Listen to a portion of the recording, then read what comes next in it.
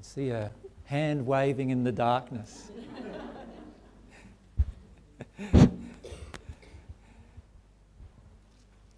AJ, can you explain? Um, Mary has a reference to the um, the love that the apostles received at Pentecost. Can you explain what that actually is about?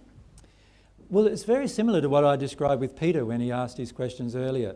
What happened, what happened for a period of time after my death was that most of the so called disciples and apostles, which I don't think of them as that, and neither does Mary, we just think of them as our friends and acquaintances.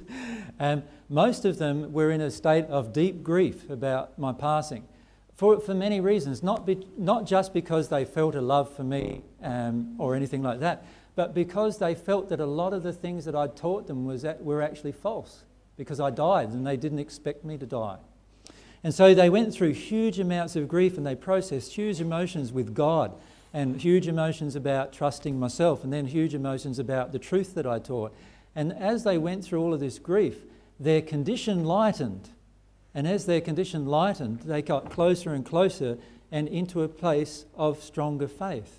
And because they got into a space of stronger faith, now what could happen is the celestial spirits by this stage, who were now at one with God too, because there were many, could now influence those people in a much more positive way, and God's love could flow into them directly. And as a result of that, many of the celestial spirits could actually speak through them to the, to the rest of the people there in the language that the people were listening. So there was a time when Peter got up in front of 3,000 Greeks and Peter couldn't even speak it. Right? At the time, he, he learned to speak it over time, but at that moment he couldn't speak that language. And yet he spoke the language exactly that, that they needed to hear about the divine truth. So he spoke in tongues, but it was in the tongue of the people who were the audience who needed to hear the truth. And, and that was just a demonstration that they had received enough love for these major changes to take place. Now, already for many of you, changes are taking place. Some of you who have never been, had, a, had a gift of mediumship now have one. Some of you who have never felt the power of healing, but except through others, now can start feeling a connection with God through healing. Some of you are already starting to experience that. Many of you don't talk about it yet, but you're already starting to experience it. And, and as it grows, and when you get into this condition eventually of at one you'll be able to do these things all the time. So, what happened in the first century was yes, there was this heavy spirit influence after my passing of love, divine love spirits, spirits on the divine love path in the celestial realms, who entered the celestial realms in the three years of my ministry.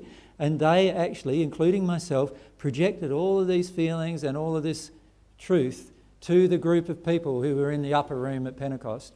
And because of their desire for God and their longing for God, and the fact that they'd had just had 50 days of crying their eyes out, they could connect with that and actually experience divine love flowing into them. For many of them, the first time, and that had a fantastic uh, um, effect on everyone around them.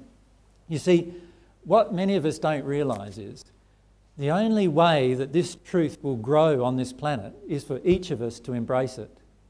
That's the only way it grows. Because when we make the soul changes inside of ourselves, now the other persons who are ready to listen to truth but need somebody to teach them have a teacher. You see, all we need to do is get the teachers ready, and the world is full of people desiring truth, many more than what is here in this audience. And when the teachers are ready, more people can come. And, and that's exactly what happened in the first century.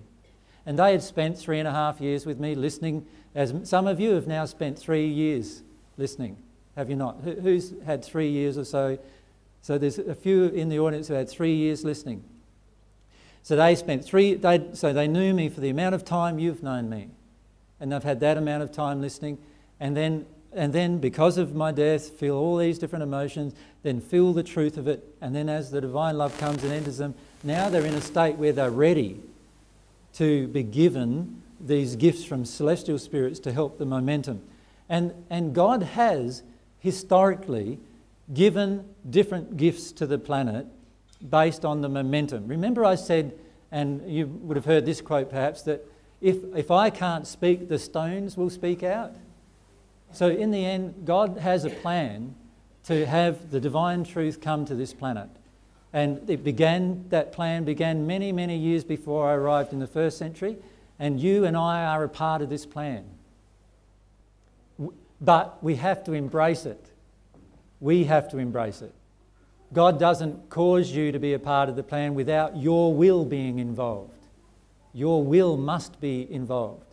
So when you exercise your will to avoid your emotions and avoid changing your, your the belief systems you have and avoid changing your, uh, uh, your, your acceptance of truth and, and all of those things, you are exercising your will and all it's doing is actually keeping you away from being a part of this greater plan that God has.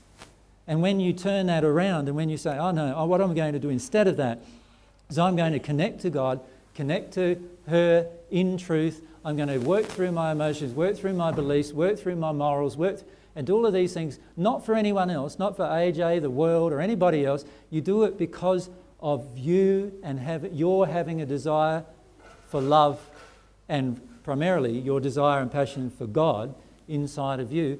And when you do that and actually do it, rather than just talk about it, what happens is everyone around you will feel it.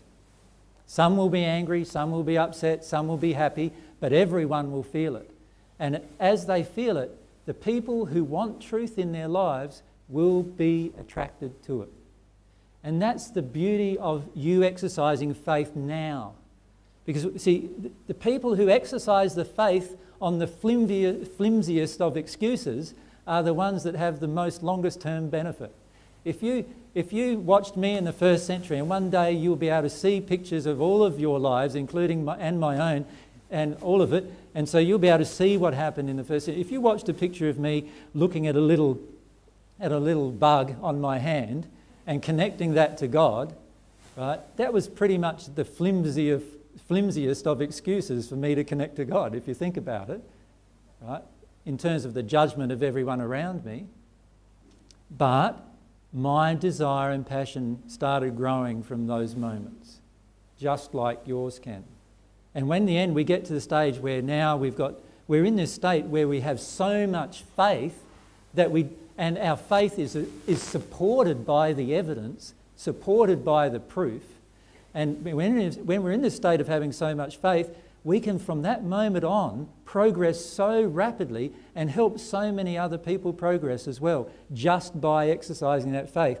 And we don't even need to be at one with God yet to prove the existence of God's love, to prove the existence that, that God actually exists, to prove the truth. We don't even need that yet because because we're in this state where we're feeling it inside of ourselves as a truth and we're acting upon it without fear.